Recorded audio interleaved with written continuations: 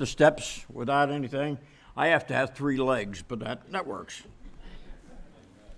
What a, what a joy it is to share the Word of God with you today. Uh, not happy for the situation. He is, Bill is doing well, although this morning walking, I guess some of the nerve block and all that kind of stuff's working out. And so he was having a little more pain uh, this morning, but uh, thank the Lord, it's healing up. And uh, I know he sends his love to you and would love to be here. I want you to turn to John chapter 15, and we're going to be here both this morning and tonight. This morning, we're not going to be looking a whole lot at John 15. We're looking at me glorifying God. I've Got a question for you. How in the world can you glorify God? How can I glorify God? What is there about us that gives us a right to enter into the throne of grace and to the King of Kings and the Lord of Lords? Well, we're going to look a little bit at that. We're going to look at God. Who's God? We're going to look at who's man. And then we're going to look at the Lord Jesus Christ this morning. And I hope we can set the stage. And then tonight, uh, bring a, bring a, uh, a, sack lunch or a, a nighttime snack because I've got 10 points I want to bring to you tonight. No, I won't keep you that long, I don't think. My wife just asked me to be nice to you. We were in uh, we were in Tennessee one time, and we went with another missionary couple out to a, a church, one of the uh, satellite churches of uh, uh there in in uh, Chattanooga, Tennessee, and uh, the his the missionary's wife said, "Now, honey." You're going to be nice to the people tonight. And I looked at Letha, Letha looked at me, and she said, in case you, or he said, in case you wonder what she said, she wanted to know if I was going to be real short tonight. So I'll try to be kind to you tonight, even even this morning.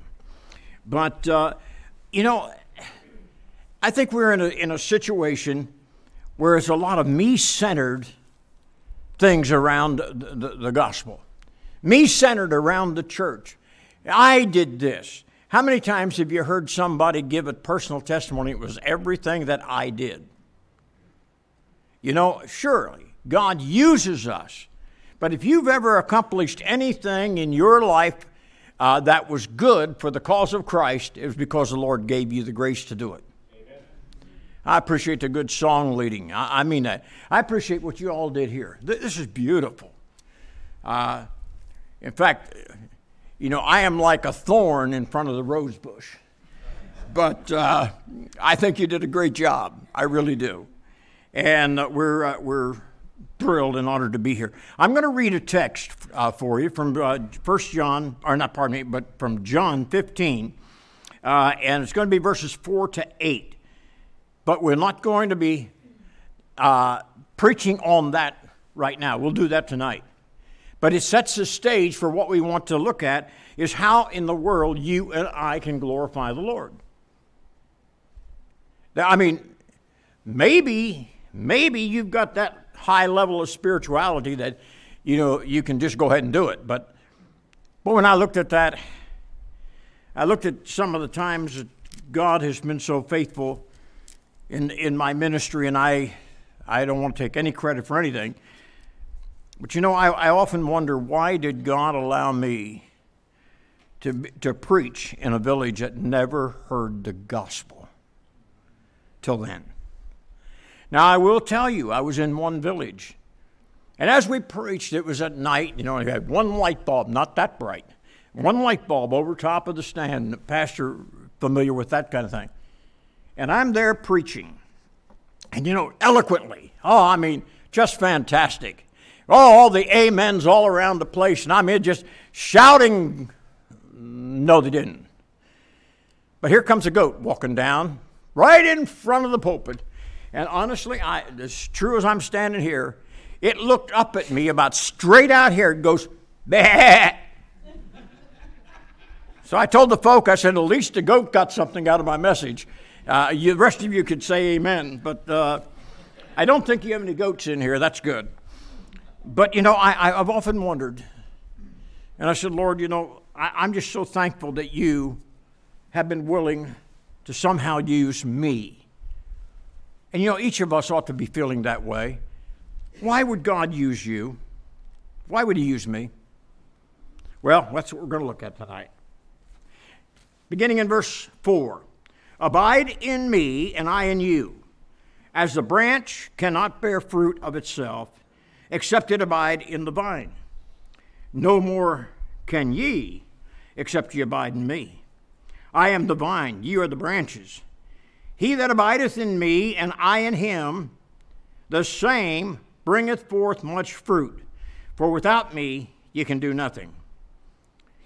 If a man abide in me, he is cast, uh, if a man abide not in me, he is cast forth. Uh, pardon me, these glasses are giving me a fit, so, and then I can't read either. If a man uh, abide not in me, he is cast forth as a branch and is withered, and men gather them, cast them into the fire, and they are burned. If ye abide in me, and my words abide in you, you shall ask what you will, it shall be done unto you. And here's the key verse of it all Herein is my Father glorified, that ye bear much fruit. So shall ye be my disciples. Now, over the years, I've heard a lot of people preach on that text, and it's always soul winning. I think tonight we'll share with you 10 things that we can do to glorify the Lord Jesus Christ. And that's not all of them. That's what I'm going to give you tonight, the Lord willing. But you know, we, have got to realize we need to look at something. Who is God that we are to glorify Him? I'm not questioning is God real. Who is God? You know, it was Pharaoh who thought he was a real hot shot. And when Moses said, God said, Let my people go, in chapter 5 of Exodus, Pharaoh said, who is God? And then later he says, I know not the Lord. Now, you know what the book of Proverbs says? The fool has said in his heart, No God. Here was a man of great power, probably great intellect, but he was foolish. I think of the uh, many years ago, the atheist Voltaire. He defied God he defied the word. He made all those kind of accusations that you hear the atheists try to make about God or against God or whatever. When he died, he was a printer. When he died, his printing press was used to print the Word of God. Isn't it interesting how God just changes things around a little bit? He's in control. And God knew that Pharaoh's heart was hardened. So his question was, Who's God? Who's Lord? I know not the Lord. Tragic. Tragic. I have met some like that. I have met some people who, who refuse. I remember a fellow over here in York. Pastor asked if I'd go along to visit. He said, Now, this guy, said, I have no idea what he'll do. He said, He has basically thrown me out of his house. He said, Would you go along with me? I said, Sure. We went there, knocked on the door.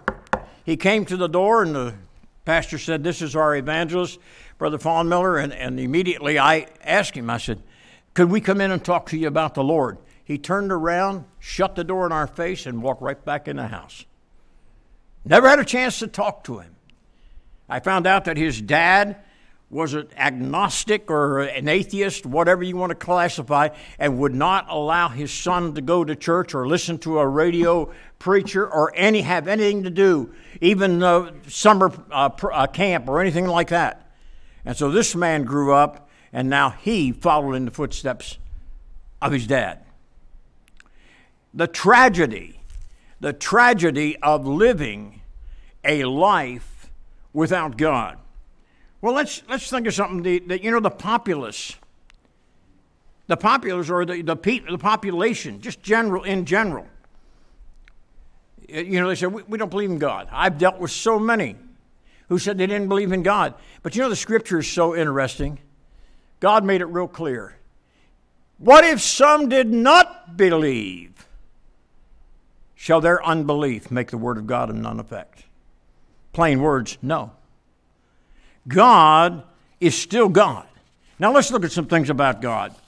Uh, you know, we could look at a lot of a lot of things, but I want to I want to start out with this one thing. Genesis chapter 1 verse 1. One of the greatest verses in all the Bible. In the beginning God created the heaven and the earth. The first thing we find out about God is in the beginning, but then somebody say, "Wait a minute. When was that? When did God begin?" Well, the Bible tells us that God is from everlasting to everlasting, so he never starts.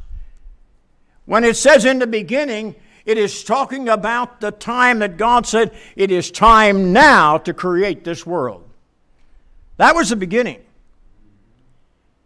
But you see, when we look, you know, and, and the interesting thing is this when you look into the heavens, the Bible says the heavens declare the glory of God, the firmament show of this handiwork, and, and, and just goes on in uh, Romans chapter 1 it tells us that God is known by His creation. I've talked with missionaries who have gone into tribes where the gospel had never been. And invariably, there was somebody in that tribe that was trying to figure out what this supreme being was. They might worship a tree, they might worship a stone, they might worship whatever, but they, this individual knew that there was something more than that and they would sit and listen as the missionary would share with them the good news of the gospel of Jesus Christ. You see, beloved, it is God who desires to work and to do of his good pleasure in our lives. And you have you don't have anything but that God gave it to you. You remember what Daniel said to Belshazzar? Thou hast not regarded the God in whose hand thy breath lieth. He said, God has your breath right there. The day he wants to, and that night, God did it, closed his hand, and Belshazzar died. You see, beloved, God maybe puts up with a lot of things that we wonder why in the world does he put up with it? But the simple matter is, he wants men. He's not willing that any would perish, but that all would come to the knowledge of Jesus Christ. And so God will put up with a lot of things. But ultimately, there's that day. There's that day that God is going to withdraw his hand, withdraw his grace, and man's going to die without Christ. Do you remember the rich uh, uh, farmer in uh, Luke 12? What he did, he said, I'm going to tear down my barns and build bigger barns because it's such a bumper crop. That was okay. You know, farmers do that all around. You see these here plastic silos now and all that. That's the wise use of money and product. But then he said something stupid. Pardon the English, uh, you know, I'm real sophisticated. He said, I'm going to say to my soul, Take thine ease. Thou hast much goods laid up for thee. And the Bible said, This night thy soul shall be required of thee. You know, had he said, Thank you, Lord, for this great bumper crop, it's not that he had to give it to anybody else. He had his own cattle to take care of, he had his own stock to take care of, his own family, servants, and whatever. But when he turned his head against God and his voice against God, God called him into an account. The second thing I want to see about God, and I guess I got to keep moving, you know, I get bogged down. We, we could spend the rest of the time on this one thing of God the Creator and God the Sustainer, the God who gives us life. He's omnipotent, all powerful. You know, I think one of the greatest things that you can look at Genesis 1 1, He created this whole world out of nothing. He didn't have a test tube and He mixed things together and said, Nope, now I got it. He just spoke the world into existence. Now we know he did it through the Lord Jesus Christ, John chapter 1, Colossians chapter 1. We know that. But God created everything out of nothing. Now, it doesn't matter if scientists can't figure that out. Just believe the Bible. But you know, there's another place of powerfulness of, of God that always strikes, and I shouldn't say it a little bit humorous, but always strikes me. You know, when Moses and the children of Israel were leaving Egypt. they got to a predicament. Red Sea in front. I remember preaching in a, uh, well, teaching a Sunday school class. I didn't want to do it, but somebody begged me, please. And it was a, what I would call a liberal church today. It was a, a new evangelical then. I said, okay, but I'm going to say the truth. I said, whatever you do, I said, tell them right now. If their lesson is uh, contradicts the Bible, I'll go with the Bible. And it did. It was just the children of Israel leaving Egypt, and they said they went through the Sea of Reeds, which is about six inches deep of water and muddy, sloppy. Now, my Bible tells me that all night the wind blew and the water parted, and Israel went through on dry ground with an aquarium on both sides of where they were walking. And they got the whole way through. But the interesting thing is, they had a mountain to the north, a desert to the south, a sea to the front, and Egypt in behind. There was no place to go. Uh, they, they, they, they were sunk. But God had a way, God had a plan. And the children of Israel went through that dry ground got to the other side. Egypt tried to come across there, Pharaoh and his horde, and they got swamped in and they became part of the aquarium. You know, it's kind of interesting. Wonder how they did swimming around with all those fish. God said, That's it. The power. You can see the Jordan where he did that with the Jordan when it was flooding its banks. But we can see so many other areas of where God was, was showing his power. There's also the thought of God's omniscience, all knowing. You ever think about that? God knows everything. God knows everything. Uh, by the way, I, I, was thinking this here. Let me give you this point, and this this ought to be encouraging to you. God knows the very hairs of your head, and some of us are really helping Him out a great deal. Uh, we don't have quite as many as we had at one time, and so God says, uh, well, okay, subtract another one. but God knows the, the, the, number of hairs. And, but the thing that's really interesting, in Psalms 147, 4 and 5, says he knows the stars by name. Some clear night, go out and take a look up into the heavens. Look at all those stars. I remember one time we were out on a, a hunting trip out in Colorado, and uh, I'll tell you what, if you're a hunter, I encourage you to do it we were on top of this, uh, this mountain. We were actually at that point only 6,000 feet up, but we ended up 10,000 is where we hunted. But you looked out, there wasn't a thing to mar the sky, and you looked at the multitudes of stars and thought how wonderful it is. The firmament does show the glory of God.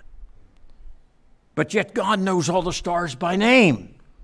Only gives us a few names here uh, in the scriptures, but he knows all the stars. In Matthew chapter 16, it says that he knows our need when? Before we ask. Think about that. He knows exactly what you're faced with. He knows what you stand in need of, and you didn't even ask.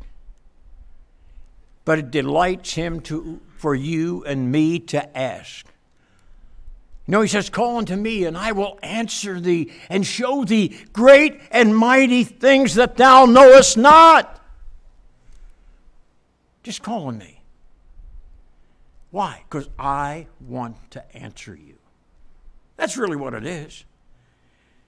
Well, there's a whole lot of other things we could uh, we could say about that. Uh, let me just give you one other thing, all knowing. Go back to the book of Hebrews in chapter 4. Very beautiful chapter. I, I, I enjoy reading this, read it many times just for pleasure. I don't know if you're supposed to do that, but I do. In Hebrews chapter 4, and look at verse 13. You're familiar with, with uh, 15, we, for we have not an high priest that cannot be touched with the feelings of our infirmities, but was in all points tempted like as we are, yet without sin. And by the way, he says, there, therefore come boldly to the throne of grace. But I want you to go back with me to, to verse 12. For the word of God is quick and powerful and sharper than a two edged sword, piercing even to the dividing asunder of soul and spirit and of the joints and marrow, and is a discerner of the thoughts and intents of the heart. Neither is there any creature that is not manifest in his sight. But all things are naked and open under the eyes of him which, with whom we have to do. Do you realize that God isn't shocked or surprised about anything? He's not. You're in a situation, do you ever think? Uh, oftentimes we look at the physical end of it, and that is something to look at. You know, God isn't shocked about the physical problem you have, or you might have. You might have a physical problem coming down the road, and I'm not wishing it on you. Uh, you know, I'll tell you, mine hit me with uh, about almost three years ago now.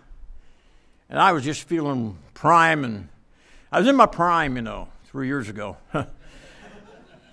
but anyhow, you know, I, one of the things, and I know I shared this with you before, and I'm going to say it again.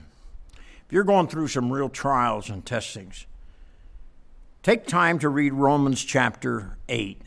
26 and 27 talk about prayer. 28 says that we know that all things work together for good to those who love God and to those who are called according to his purpose.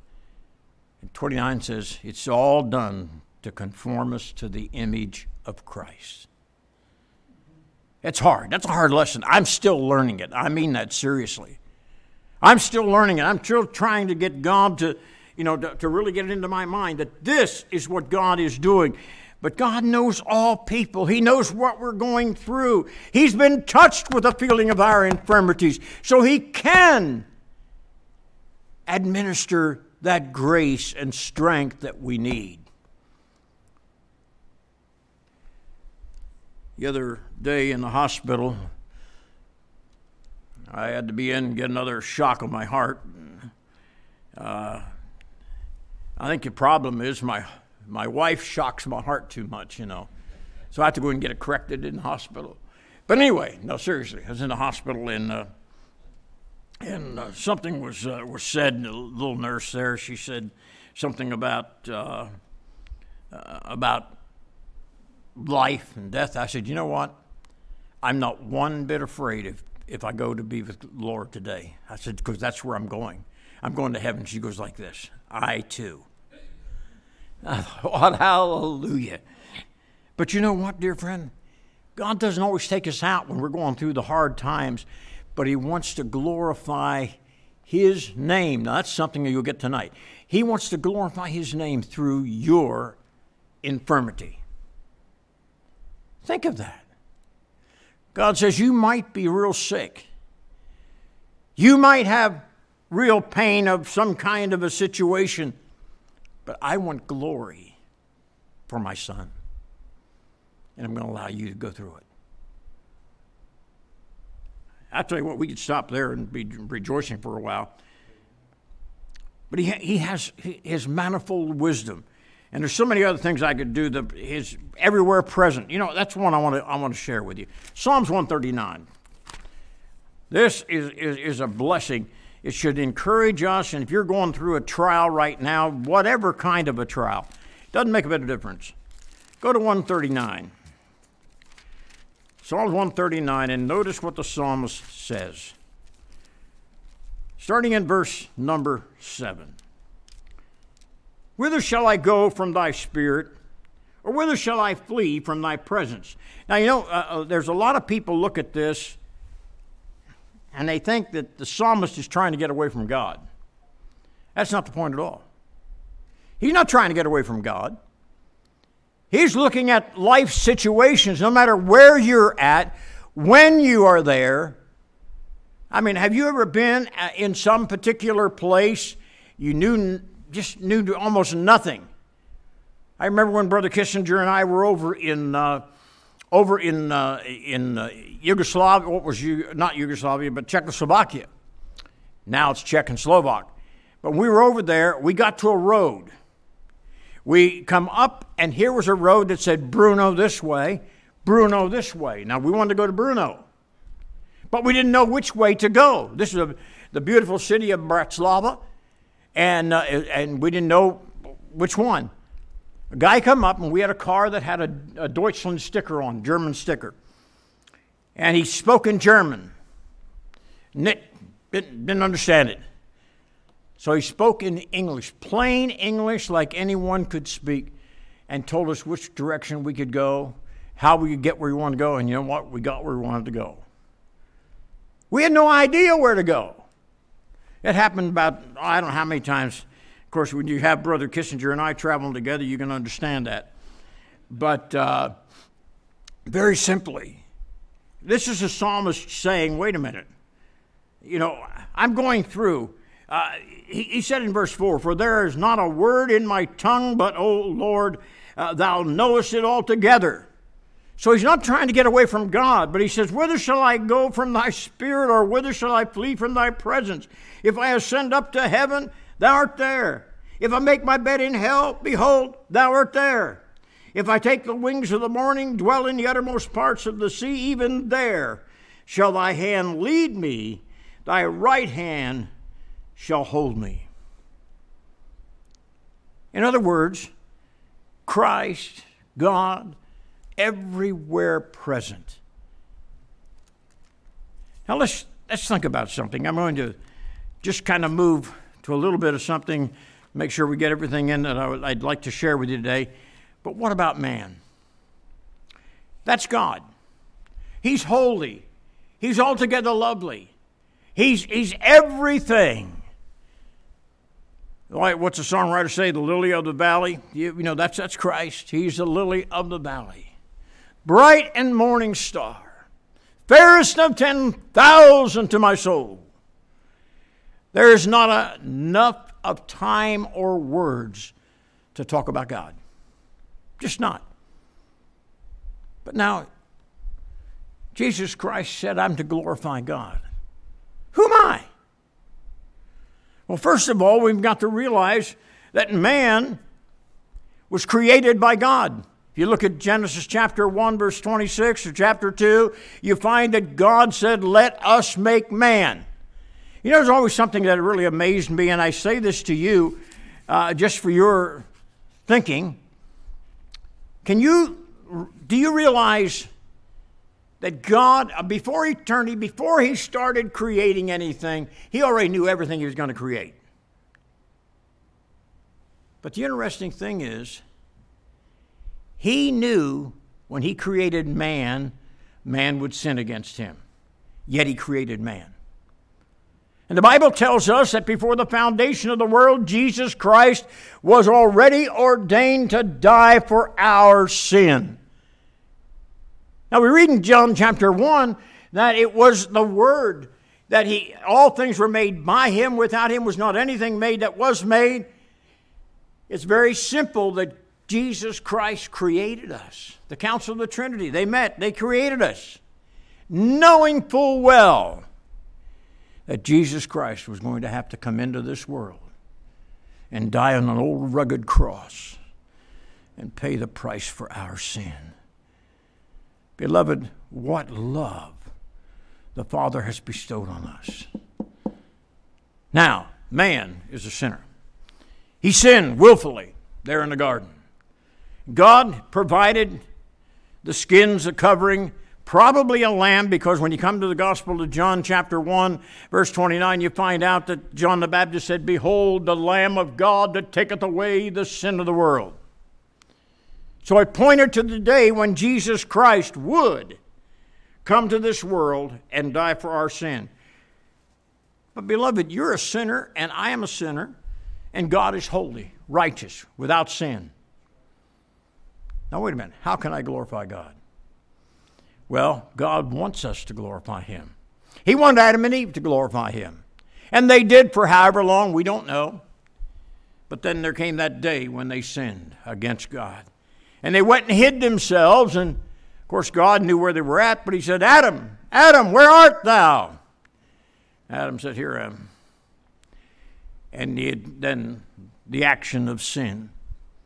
It had to be recovered. It had to, he had to be covered for that sin and had to take blood. And the Bible tells us the blood of Jesus Christ, God's Son, that cleanses from all sin. But you see, man was a sinner. Now, how can a sinner glorify God?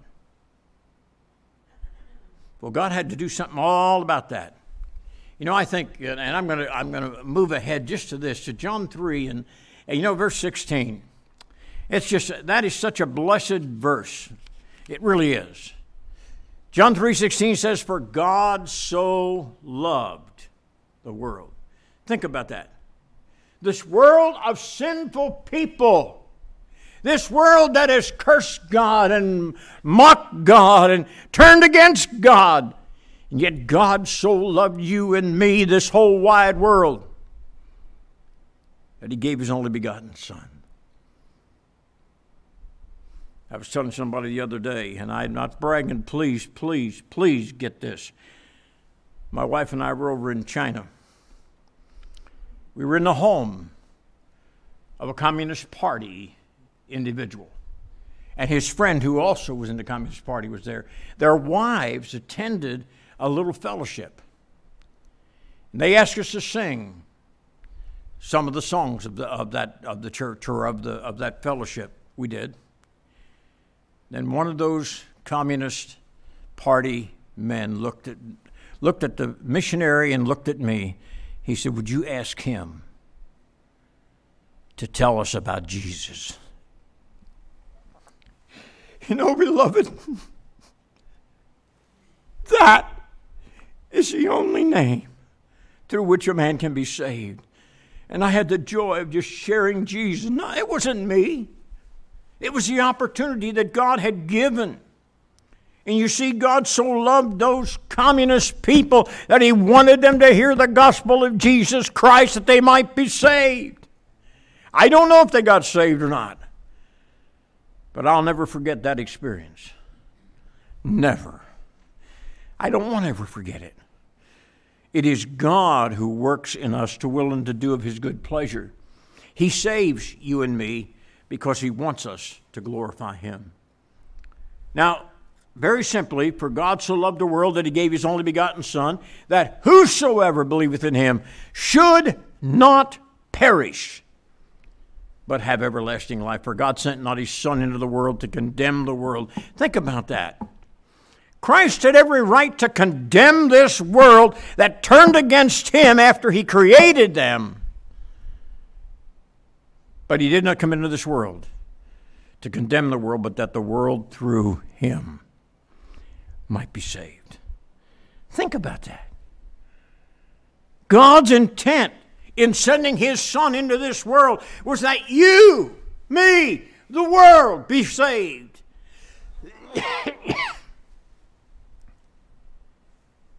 And you see, beloved, it is, it is that truth that man needs to hear. You see, God is saving us, those who will come to Him by faith, those who will come to the Lord Jesus Christ by faith, God is saving them that they might glorify Him. Now, everyone who is saved is, is really a, it's a glory to the Lord because it's He who provided it. You know, go over to First Peter for a moment, and I'm kind of tying together something here. Uh, the person of the Lord Jesus Christ, along with, with you and with me. We're not worthy of anything, but Christ is the one who makes us that makes us worthy or able to share the Word of God, uh, not only with our with family, friends, but He allows us to share the Word of God that men might be saved, and yet we don't save anybody. I mean, I, I count it a privilege to be able to share the Word of God. Look at verse 18 of chapter 1 of 1 Peter. For as much as you know that you were not redeemed with corruptible things as silver and gold from your vain conversation received by tradition from your fathers. In other words, our salvation, our salvation to get us prepared so that we can glorify God, did not come from our family, our family tree, or any uh, from our local church. It didn't come from anywhere except from the Lord Jesus Christ. Now, you notice it says here very simply that it is the precious blood of Christ in verse 19.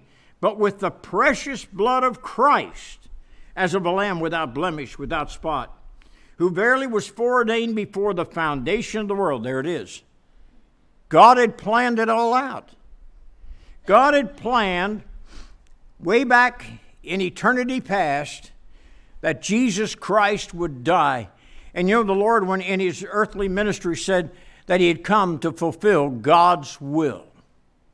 He knew those 33 years or so that he lived on this earth, that the whole purpose that he, that he had for being here was to die on an old rugged cross and pay the price for your sin and for mine, so that this whole world might be saved. Are you telling anybody about that? Have you shared that with anybody? Now, you can't save them, but you can sure present the Word of God that they might that they might understand and be saved.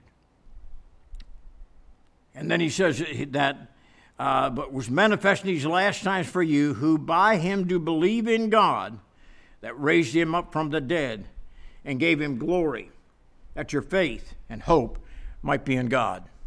There's another portion of Scripture I want you to see. You're, you and I are sinners. Romans chapter 3 says, For all have sinned and come short of the glory of God. In fact, in verse 10, we read that, uh, that there's not one righteous. No, not one. You and I don't have any righteousness in ourselves. But it, uh, Paul takes the first three chapters of Romans and lays it out very clearly that nobody is with, without excuse. Everybody is guilty before a holy God. And so, you know, there's no way that you and I can glorify God unless we will trust in the shed blood of Jesus Christ, the only covering for our sin. The Lamb of God. Now, notice, if you will, as you look in Romans in uh, chapter 3, of course, we already quoted verse 10 there's none righteous, no, not one. And then when you go over here to uh, verse 21 But now the righteousness of God without the law is manifest, being witnessed by the law and the prophets. The Word of God witnesses that Christ is the plan, God's plan of salvation. All our righteousness is filthy rags, Isaiah says. There's none. We're challenged in chapter 1 of Isaiah to come now, let us reason together, saith the Lord. Though your sins be as scarlet, they shall be white as snow, though they be red like crimson, they shall be like wool. That's God doing His work in your heart and mine. The world. He said, Even the righteousness of God, which is by faith in Jesus Christ, unto all and upon all them that believe, for there is no difference, meaning there's no difference between the Jew or the Greek, between you and, and anybody else. And then he says, For all have sinned and come short of the glory of God, being justified freely by his grace through the redemption that is in Jesus, our Christ Jesus, whom God has set forth to be a propitiation through faith in his blood, to declare his righteousness for the remission of sins that are past through the forbearance of God. You see, beloved, God has provided a way of redemption. Now, tonight, we're going to look at what God will allow us to do some of the things that He wants us to do to bring glory to Him. You see, but right now, right now, as we look at this, we, you, you see that man in his sinful state, but you know how wonderful it is to go back here to Romans chapter 6. And I want to share these with you. This is what God did. God sent His Son into this world, condemned to die, but He was dying for you and for me. You think about that. All that he had gone through. They tried to stone him, they tried all kind of things to get rid of him, and they couldn't do it. Why? Because his time was not yet. Then came the time when they would take him to the cross. There they would nail him to the cross and be hanging there in shame between two thieves. But he was hanging there for you and for me. Romans chapter 6, it talks to us about, about uh, man, and he says, uh, for the, in verse 23, for the wages of sin is death, but the gift of God is eternal life through Jesus Christ our Lord. You see, God wants us to be saved. There are a whole lot of things we could talk about for the child of God, but we, first thing first, man needs to be saved. You know, I look back on that day, September 6, 1961, when I heard the old gospel message broadcast. I'm not not broadcast, preached right from the pulpit. In fact, many of you will know the name Dr. Oliver B. Greene. That night, I heard the gospel message. It pricked my heart, and I went. And I never forget what I, what I said to Dr. Greene. I said, I've thought all these years I was saved. I need to be born again. I'd been baptized two times. And what Dr. Greene used to say, it doesn't matter if you've been baptized so many times, all the tadpoles in the creek know your name. But I was baptized twice, still lost. One time I was sprinkled, one time I was pushed under, still lost. And then there came that day, September 6, 1961, when I trusted Christ and things started to change. I mean, my life took on a new, new direction because it was the grace of God. You know, if any man be in Christ, he's a new creature. Old things are passed away, behold, all things are become new. He says what God wants to do with you, you and me.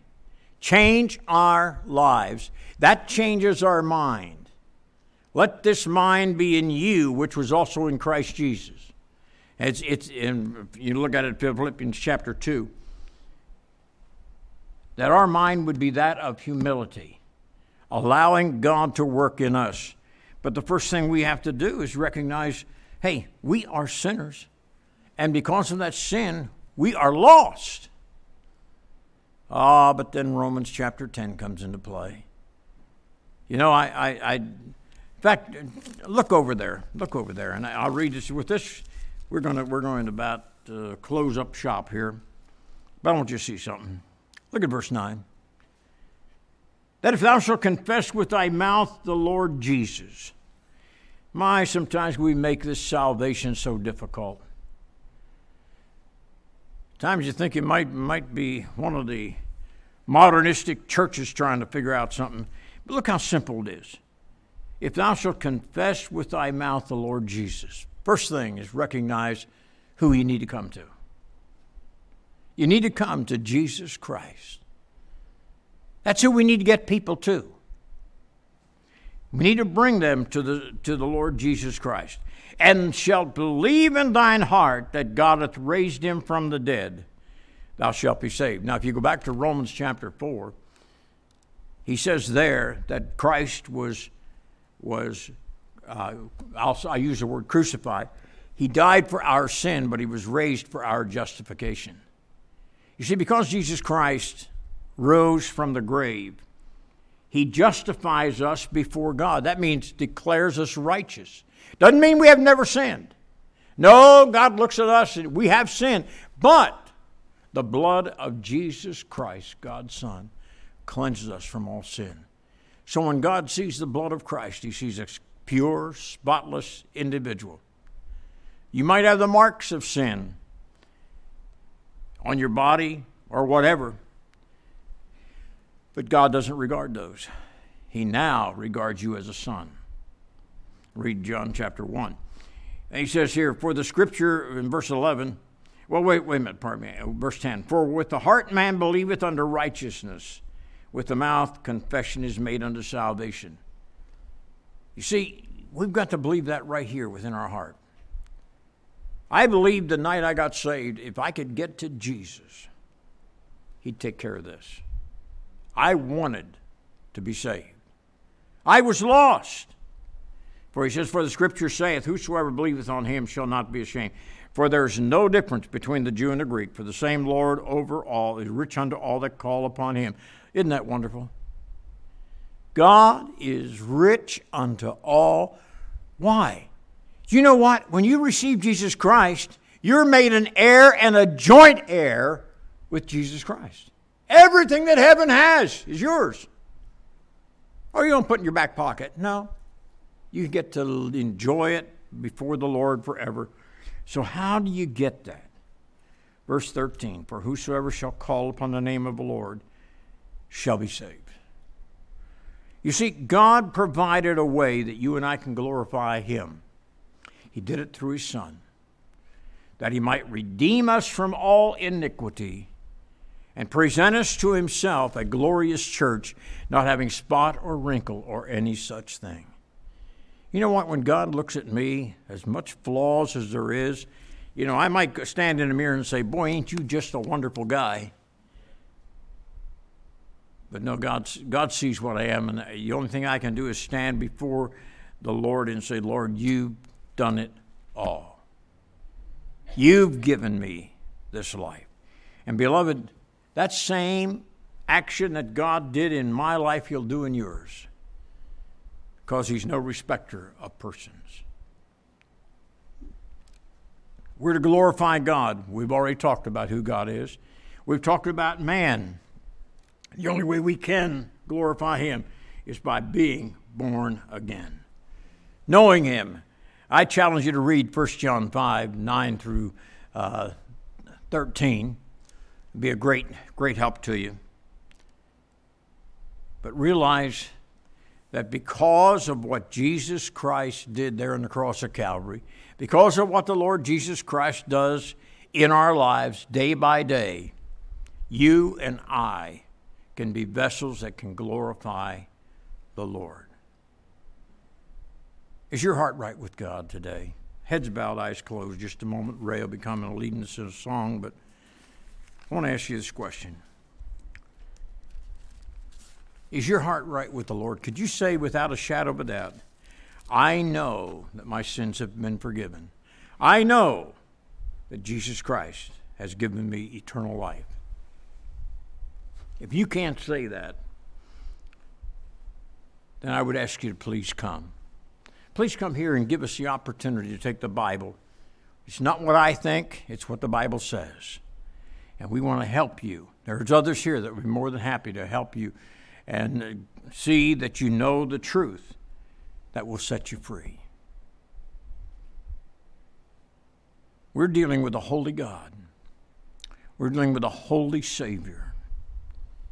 And we're dealing it dealing with them as a human being who's been born again. Have you been born again? If we might be of help to you, please give us that privilege. Father, we only can say thank you for the Word of God, for the person of Jesus Christ. Father, we can only say thank you for you, and how you love us. You love us with an everlasting love. You love us so much, you sent your only begotten Son to this world that he might die for our sins. Lord, if there's somebody here in the service or hearing in some way by the internet or whatever, Lord, would you speak to their hearts and draw them unto yourself that they might be saved? And for each of us who love thee and know thee, help us to be faithful to thee every day. Would you bless? In Jesus' name, amen.